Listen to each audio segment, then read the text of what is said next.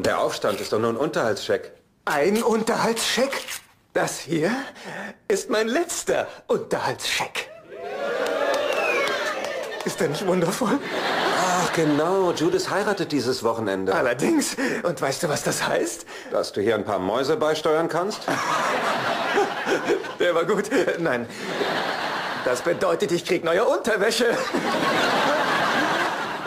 Also, wenn du mich jetzt entschuldigst, ich hole jetzt meinen Sohn ab und händige diesen letzten Blutzoll der ehemaligen Mrs. Alan Harper und baldigen Mrs. Herb Melnick aus. Gott möge ihm gnädig sein. Amen. Okay, dann nimm deine Kamera mit und mach einen Schnappschuss, wie Judith der Teufel ihren Alan aus den Klauen lässt. Ich hab sie in der Tasche. Eins muss ich dir lassen, Charlie, das mit dem Copyshop war eine klasse Idee. Und das Foto gibt eine klasse Weihnachtskarte. Gehst du nicht an die Tür ran? Schrei mich nicht an. Das nennst du schreien? Das hier ist schreien! So komisch ist es auch wieder nicht.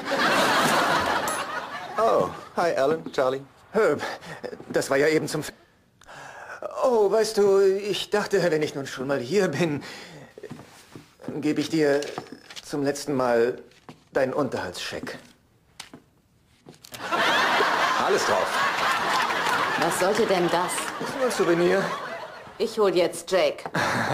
Das hier ist doch ganz cool. Machen wir noch eins mit dem großen Scheck. Nein, vergiss mal über den großen Scheck. Tja, ähm, Wo steckt denn Jake zum Teufel? Woher soll ich das wissen? Du solltest ihn doch für seinen Vater ver... Hey, das habe ich im Gebüsch gefunden.